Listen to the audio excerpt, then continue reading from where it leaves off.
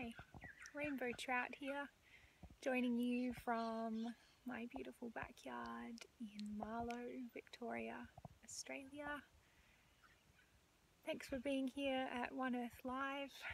Pleasure to be part of such a beautiful day of musicians, artists, teachers of all sorts. Enjoy and be well.